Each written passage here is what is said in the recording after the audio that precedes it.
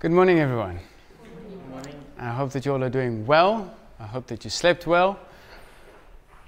And I hope that you're ready for a very challenging message. Um, this week I was a bit overwhelmed by the message itself, if I can be completely honest. But before I get to that, I'd like to first tell a story of something that Sophia and I encountered while we were still living in England. Now, it was on southwest London. I think it was Westminster or something, I can't really remember, but it was a bit more of a posh area, if you will. So, the reason I'm mentioning this is we were walking there, she had to get something for work or something, and we were walking in this market type street and we saw the street entertainer, and he was there and he was entertaining the people. Very much that's where he got his name. But he was a street entertainer, and he's, he's just doing some tricks and just doing some stuff so the people can actually pay him and put money on the floor, and, and that's how he pays his bills. But that's not the story. The story was in this whole entertainment section, because you see this group, and then you start following them, and you, you go stand there, and you know, you try and stand there close enough so that you can see, but not close enough so, you, so that you feel compelled to give money. You know, don't pretend like it's just me. Any case, so we're standing there and we're looking at this unfold, and at one stage he asked for two volunteers. No, we did not volunteer, but he asked for two children. And there's one girl about yay tall stood there by him, and then a little boy of about. So there's a bit of a height difference, as you generally get with kids that age. And when everybody is there, he says, okay, give them a hand. And as they give them a hand, he tells them, okay, face each other. And the one standing there, the other one standing there. And as a joke, I need to emphasize this. Everybody knew it. As a joke, he said, fight. And before he even finished the word fight, this girl, being taller than this little guy, windmilled him and just started attacking this poor little guy who had no idea what was going to happen. This was just sort of as a way to make people laugh, but she just went at him. And I can say this, and we laughed, and everybody laughed. I'm sure that the little boy's parents didn't laugh, or him. But the thing is, all I can imagine at this stage, what I want us to emphasize on is number one, I don't think that she did it in a bad heart. Um, but I do think that maybe she has brothers at home and she needs to fend for herself, or she's just very good at following instructions. now, the thing is, we can laugh at this story, and it's a true story. Um, but what I think we as a church do is very often we do this. Like there would be a situation, or someone would disagree, or, or someone would say something that we don't like. And the first thing that we do is we start fighting. And very often you think, is there a real cause? Is there a real reason for us to start windmilling this poor little kid? Sometimes we just need to say, okay, listen, I, I disagree. You know, it's, it's just something in us that wants to attack. And I mention this because today we're discussing or starting a series or a topic of something that I generally try to avoid because it tends to lead people to fighting or it tends to cause people to lose focus. And this is why I was challenged this week because although I do know somewhat about the topic and I find it interesting, it's not something that I dwell on. And whenever other people get, start getting fixated on it, I generally try to persuade them otherwise to say, listen, let's, let's, let's understand this, but then let's move in this direction because we're losing focus. So that's my heart generally. And then this week, as I studied and I looked into Scripture and I challenged my own thinking, because during this week, everything that I thought I knew about this topic, I realized was a bit off. It was just next to the truth, it wasn't right. And I want to encourage all of you obviously to believe what I believe, but that's not the point. The point is what I'm trying to say is in this week I had to challenge my own beliefs and find truth above what I felt was convenient because how I saw Christianity I realized is a bit different than the true reality. And the reason I say this is because today we're starting with prophecy. Because the first part of Daniel, as we saw, discusses Daniel and his friends going through basically three different types of kings and how God works individually with all three kings. First with Nebuchadnezzar, then Belshazzar, and then Darius. Those are the three kings that we see happening. Now, with the prophecies, he starts going back and says, okay, listen, while this happened, this happened to me. And this is what he's sharing in this thing. But now, before we start, I need to emphasize what exactly prophecy is, because we need to define what we're busy with. Because prophecy for us very often means we're telling the future. And in a way, that's sort of true, but it's not really true. Because what prophecy is, it's not a roadmap or a step by step instruction. It's more of a roadmap, if you will. Because what we see is prophecy okay, this happens, so now we need to take this step and this step. And that's not what prophecy is. Prophecy is warning, and it gives us information about what might happen. It gives us encouragement in times of trouble because we know that God already knew this was going to happen. And sometimes it's also warning, where God just says, listen, if you continue with this, then this will happen. Very much like parents do with children. You touch that thing one more time. All the parents are going, He knows. he knows. And that's sometimes what God does, but He doesn't do it with that tone of voice. He's just saying, I don't want to punish you, but if you carry on doing this, this will happen. So, this is in a nutshell what prophecy is. But where people start getting confused and why I dislike the topic sometimes is because sometimes we get so fixated on a certain things, certain thing that we get confused. Because here we see two passages from the book of Isaiah. Okay, I chose from the same book on purpose. And it gives two different destinations when we start looking at it. The first is that the Messiah, I realize now I didn't put in capital letters, so in your mind put a capital M there. And it says, Isaiah 9, verse 7 Of the increase of his government and the peace there shall be no end. Upon the throne of David and upon his kingdom to order it and to establish it with judgment and judgment from henceforth, ever, even forever. The zeal of the Lord of hosts will perform this. So here we see a prophecy where they're saying, listen, when the Messiah comes, his government, his kingdom will last forever. And this is what the Jews were expecting, because this is what they also wanted. And conveniently, they chose to ignore the second prophecy, also from the same book, also giving more detail about the Messiah. But here it says that he will suffer. But he, but he was wounded for our transgressions, he was bruised for our iniquities. The chastisement of our peace was upon him, and with his stripes we are healed. Now, what happens when we start discussing prophecy is we start fixating on either this one or this one. And what happens when we do this is we start putting a plot or direction or instructions, and then very often we get lost. The second one that sometimes confuses us now remember, before Jesus came, there was also a prophecy where he said that he would enter the city on a colt, on a donkey. On a donkey. Now, with that, the Bible also clearly says that he will come on clouds. Look at Mark 13, verse 26, and it says, And they shall see, and they shall see the Son of Man coming in the clouds with great power and glory. This was Jesus speaking here. Remember when he ascended, also there was an angel telling the group of people there saying, Why are you looking up in the air? Just as you see him there, he's going to come back on clouds. But then we look at Revelation, the Messiah will come on a white horse. And I saw heaven open, and behold, a white horse. And he that sat on him was called faithful and true, and in righteousness he doth judge and make war. Now, these things can confuse us because how can he come on the clouds but also on a horse? Now you're saying, okay, he's coming on a, on a horse through the clouds. It's sort of, but also not. But we'll get to that when we get to that. For now, all I need us to do is to sit back and let truth reign. If there's something that I'm missing, please share afterwards. First, see where I'm going. But with that, let's start with Daniel chapter 7. and in the first year of Belshazzar, the king of Babylon, Daniel had a dream and a vision of his head upon his bed. Then he wrote the dream and told the sum of the matters. Daniel spoke and said, I saw in my vision by night, and behold, the four winds of heaven strove upon the great sea, and the four great beasts came up from the sea, diverse from one another. So, what is he saying? He had a dream and he saw this big sea, and then four winds would come from four different places. Now, the thing is, Bible scholars and also the angel who interpreted it a bit later on tells us that these four winds are four kingdoms, if you will.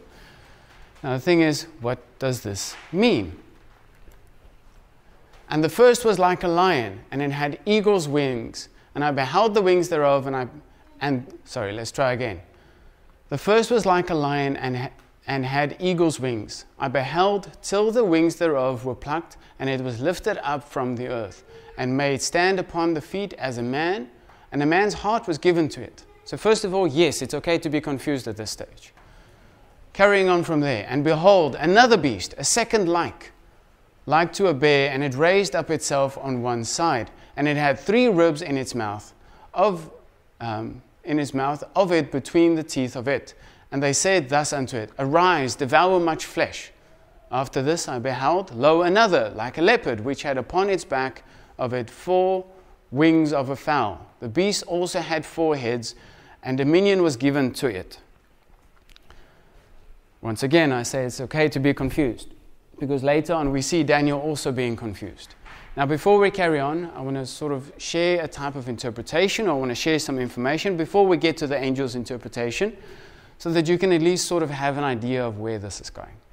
Now, Bible scholars and people who really put in the time to try and decipher these things and who pray about it and who look at the scripture, they have different opinions about this. And this is sort of where people can either agree to disagree or they can fight.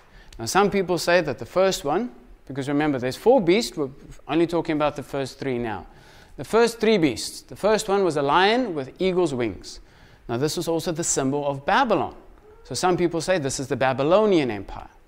The second animal was a bear. Some people say, okay, this is the Mede Persian Empire, because this is also a symbol for them.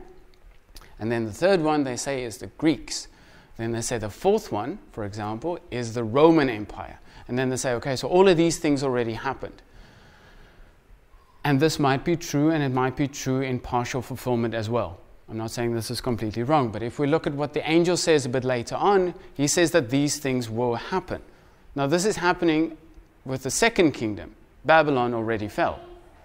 So it, it makes it difficult if we start looking at this will happen, but Babylon already fell. Now you can say, okay, but it still can be, and it, it could be. I'm not saying that it's not, and I don't think that we should fight about it.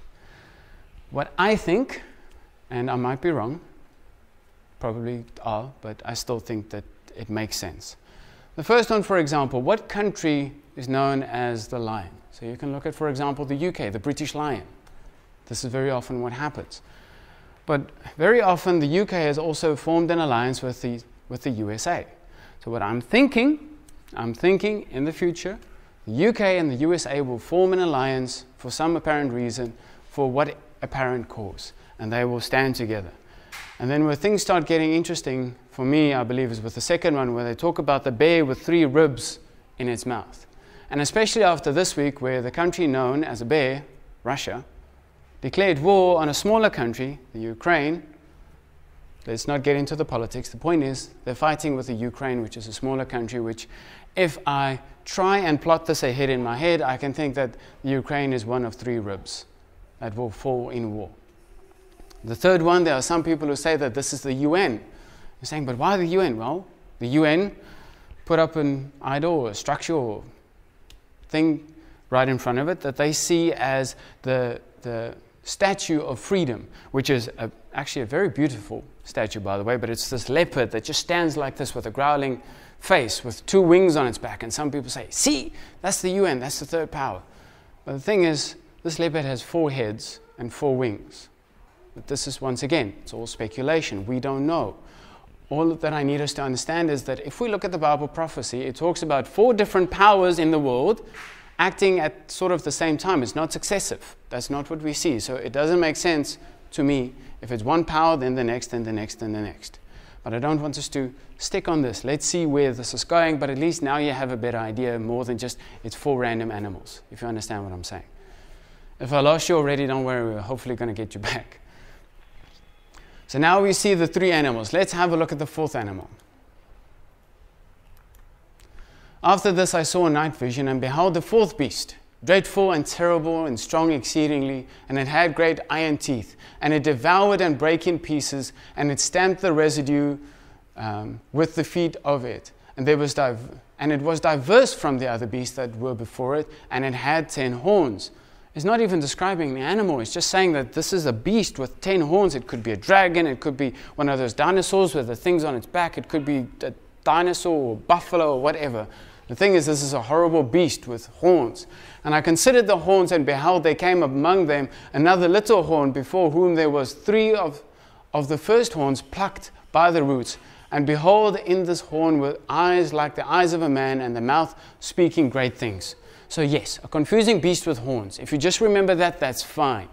Okay, carrying on. I beheld till the thrones were cast down, and the Ancient of Days sat with um, whose garment was white as snow. So now it looks to me like we're moving from these beasts to God, whose garment was as white as snow, and his hair was like pure wool, and his throne was like a fiery flame, and his wheels as a burning fire. Just take it as it is. A fiery stream issued and came forth from before him. Thousands, thousands ministered unto him, and 10,000 times 10,000 stood before him. That's a 100 million stood before him. The judgment was set, and the books were opened. I beheld, because of the voice of the great words which were the horn spake, I beheld even till the beast was slain. So, this is the fourth beast being slain after we spoke about God. And his body was destroyed and given to the burning flame. And concerning the rest of the beasts, they had their dominion, so their power taken away, yet their lives were prolonged for a season and a time. It's confusing, but it looks like we're winning. Okay? It looks like we're winning. Just stay with me. It looks like we're winning. I saw the night vision and beheld, and behold, one like the Son of Man, capital S, so it's God. Son of Man came with the clouds of heaven, and he came with the Ancient of Days, and they brought him near before him. And there was given him dominion and glory and kingdom that all the people and the nations and languages should serve him. His dominion, and everlasting dominion. Who we're speaking about? Jesus. Which shall not pass away, in his kingdom that's that which shall not be destroyed. Okay, so it's four kingdoms, bit of confusion, but we win. Okay, so we've got the kingdom. Wonderful. I, Daniel, was grieved in my spirit, very much as some of you are now. It's confusing, and my body and the vision of my head troubled me. I came near to one of those that stood by me and asked him the truth of all this, because even Daniel was confused. So he told me and made me know the interpretation of these things. These great beasts, which are four, are four kings. Okay, so now we get confirmation. It's four kings or emperors or presidents or whatever, which shall arise out of the earth. But the saints of the Most High shall take the kingdom and possess the kingdom forever, even forever and ever. Okay? So it doesn't look like we're wrong thus far. This is what the angel is saying. So we win and forever and ever. But now things can look to get confusing. Then I would know the truth of the fourth beast. So now Daniel wants more information about the fourth beast, which was diverse from the others. It was different, exceedingly dreadful, or exceeding dreadful, whose teeth were of iron and his nails of brass, which, which devoured, brake in pieces, and stamped the residue with his feet. And the ten horns which were in his head, and the others which came up, and before him fell three, even of that horn had eyes and a mouth, and spake very great things. So the horn had eyes and mouth, and he spake many great things, whose look was more stout than his fellows. So the one horn was more stout than the others. I beheld the same horn made war with the saints and prevailed against them. And was saying, but wait, I thought we won. Okay, so now we get confused because we had the kingdom and now we see that we lost the kingdom because we lost. And I beheld the same horn made a war against the saints and prevailed against them. Until the Ancient of Days came and judgment was given to the saints of the Most High. And the time came that the saints possessed the kingdom. Okay, so we had the kingdom, we lost the kingdom, we had the kingdom, then we lost the kingdom. There's more. Thus said, the fourth beast shall be the fourth kingdom upon the earth, which shall be diverse from the other kingdoms. So this kingdom shall be like nothing else ever before, and shall devour the whole earth, and shall tread it down and break it in pieces. And the ten horns out of the kingdom are the ten kings that shall arise, and another shall rise after them, and he shall be diverse from the first, and he shall subdue the three kings. Just bear with me, it will make sense. And he shall speak great words against the Most High, and he shall wear out the saints. So now we're losing again. And think to change times and laws, and they shall be given into his hands, given into his hands. So now we're losing properly because we're being given into his hands until a time and times and a dividing of times. Now, if you look at the Bible, I'm not going to get into it now. You're more than welcome to come ask me afterwards or Google it or whatever. But when they say a time and times and a dividing of a time means three and a half years. A time, one year, times two years, one plus two, three, and half a time, a dividing of a time, three and a half years. Just keep that here somewhere. We're going to get back to that now. But the judgment shall sit, and they shall take away his dominion, this being the fourth king, to consume and destroy it unto the end. And the kingdom and the dominion and the greatness of the kingdom under the whole earth shall be given to the people of the saints. Yay, we win again. And the Most High, whose kingdom is an everlasting kingdom, and all dominion shall serve and obey him. And here comes the end. Hitherto the end of the matter. As for me, Daniel, my, my cogitations was much troubled me, and my countenance changed in me, but I kept the matter in my heart. So he was upset, he was confused, very much like some of you. But he kept the matter in his heart. Now saying, Johan, how on earth are you going to get a message out of we win, we lose, we win, we lose, we win, we lose? Well, first of all, it helps if you actually look at the text itself and what's happening. If you put it next to each other like this, this is the same text Daniel 7, 17 to 18, where things start getting confusing. The blue parts, this is where the beasts rule, if you will. So first they tell the story like a man. We lose, we win. Okay? That's the moral of the story. You can ask a man, What happened? Why are you late? Well, our car broke. If you ask a woman, What happened? Why are you late? Well, the alternator and this broke. And then after that, we had to go to the back of the tire. Then we saw that the fl- flat was tire, and there's, there's so much more detail given. So, this is the man version. This is the man with his wife. And this is the man going to get a drink somewhere. His wife tells the story. Okay, so it's the same type of thing.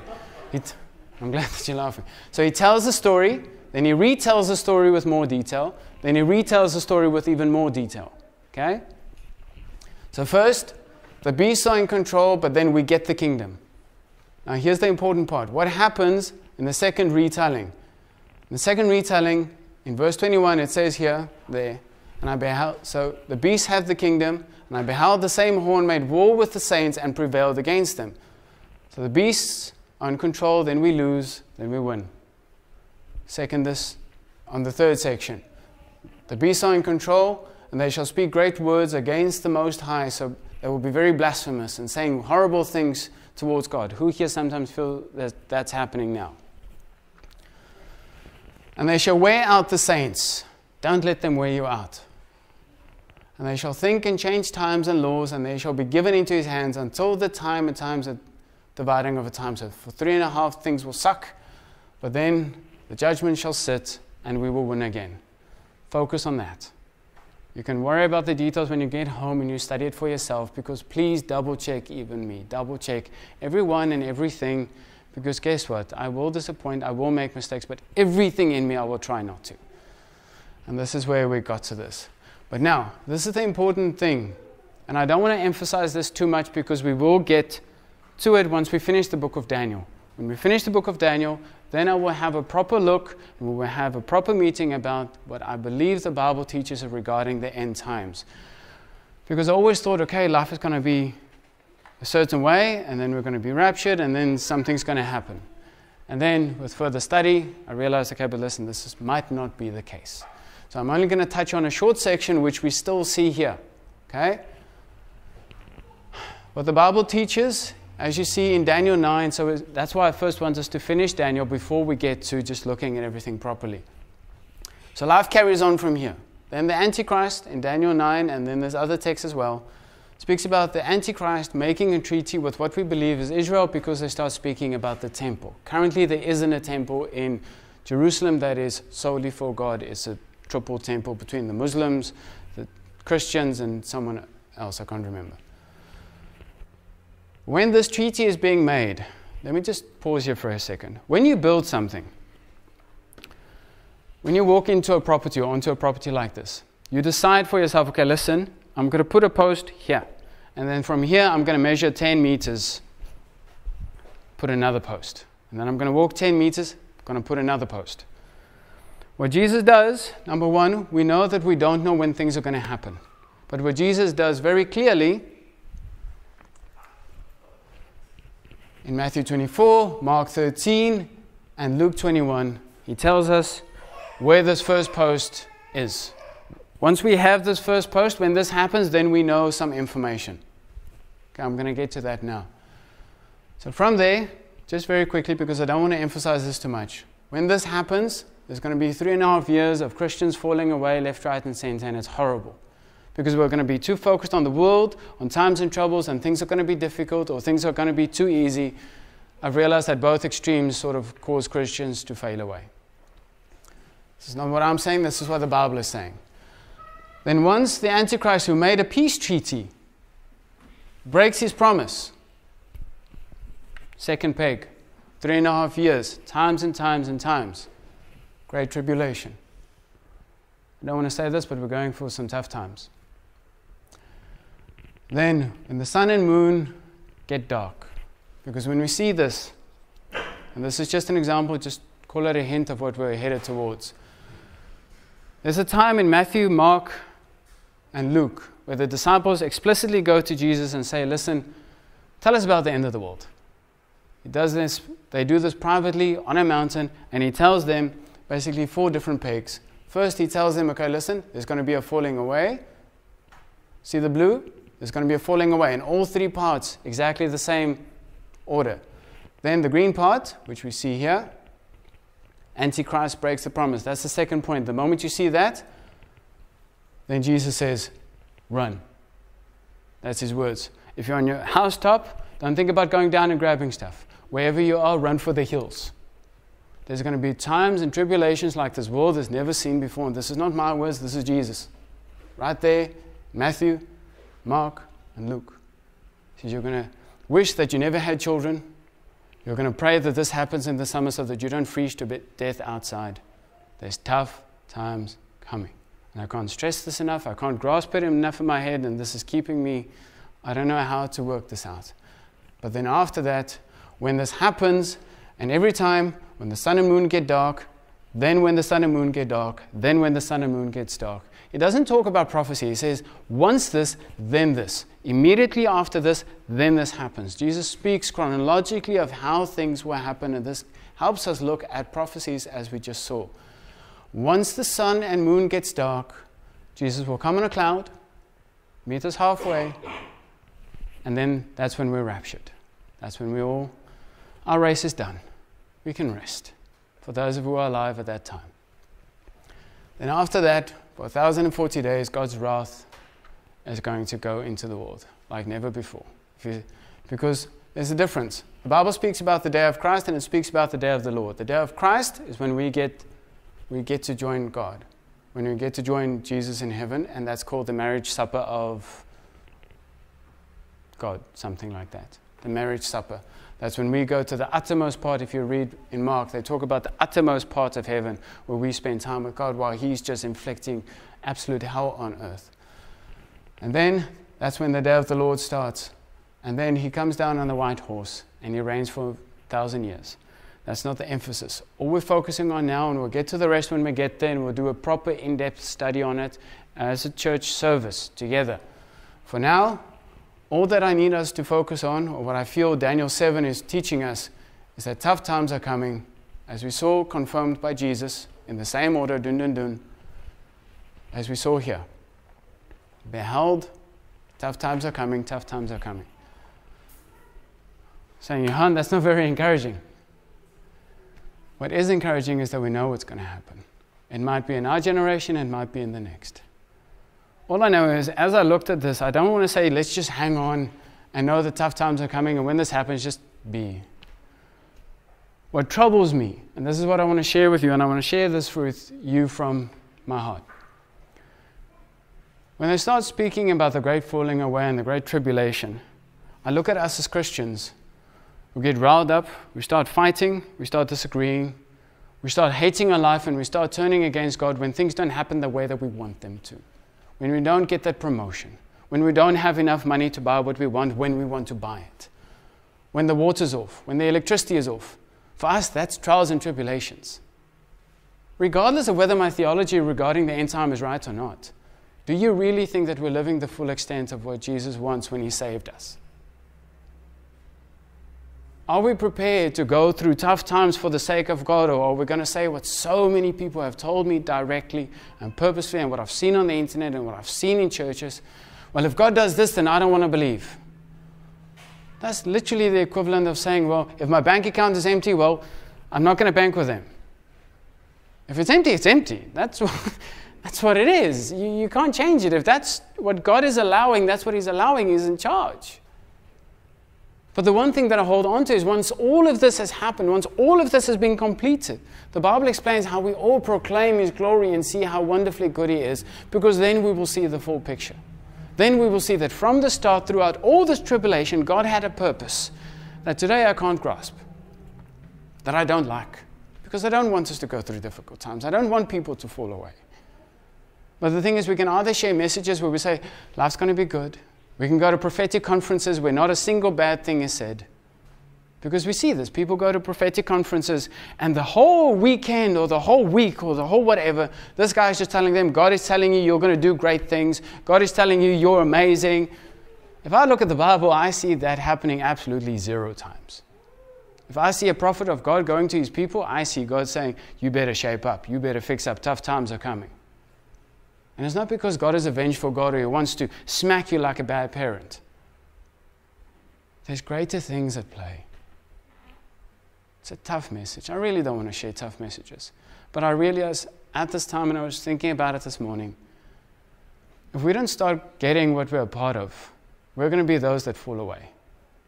We need to start grasping what we're a part of because we see our life as we're doing our life, and I spend time with God, and every now and again I share with Him what I need, and sometimes I pray for the sick. Sometimes I try and spend my money better.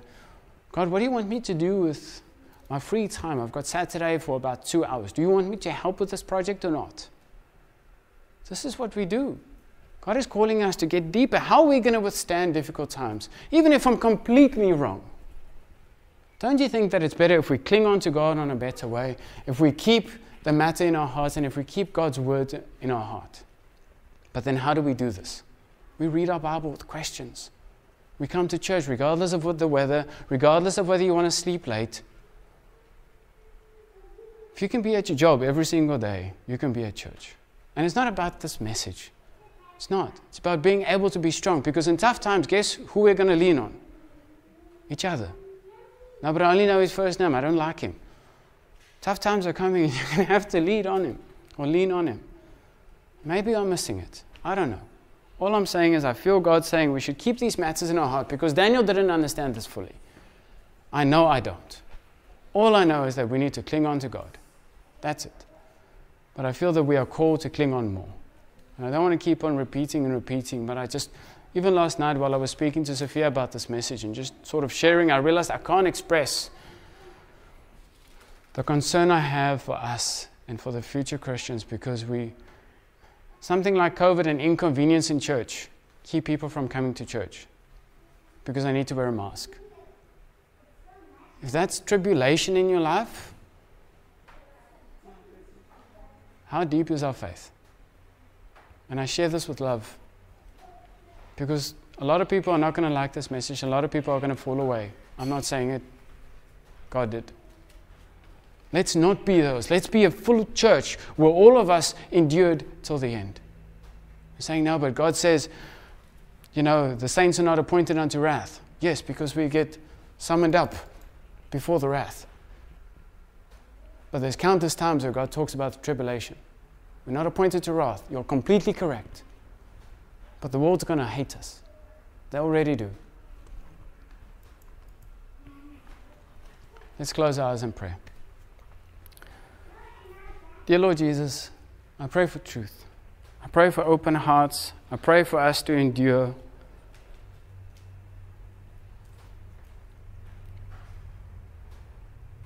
God, please help us focus on you, Lord. Help us not get overwhelmed or scared. Help us cling on to you, Lord, knowing that you know everything that's going to happen, Lord. Help us cling on to the fact that we're part of an eternal plan and not just the 60, 70, 80, or 100 years that you bless us with here on earth, Lord. We ask that you please hold us tight, Lord. Encourage us. Help us to grow. Help us read our Bibles and help us hear you clearly when we pray, Lord. Help us seek you earnestly, Lord.